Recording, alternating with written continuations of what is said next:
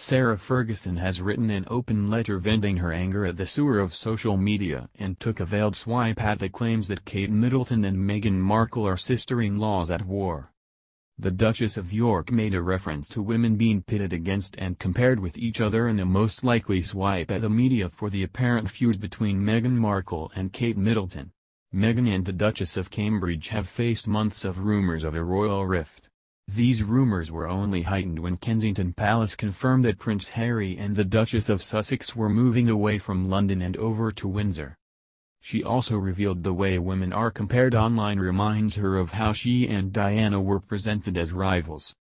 The Duchess of York wrote in her open letter in Hello, take a look at any website, and you'll see extraordinarily abusive comments aimed not only at people in the public eye but also other internet user. Bullying, sniping, beheading, even the most appalling sexism, racism and homophobia are commonplace, it seems that online, anything goes.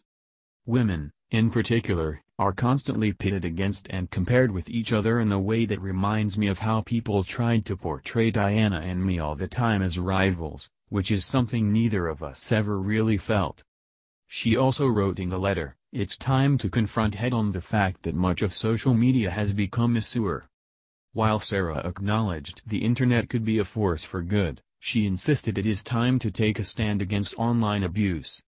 The Duchess has hundreds of thousands of followers on her Instagram and Twitter pages. Sarah, who is patron of Street Child, regularly posts about her charity work as well as family updates.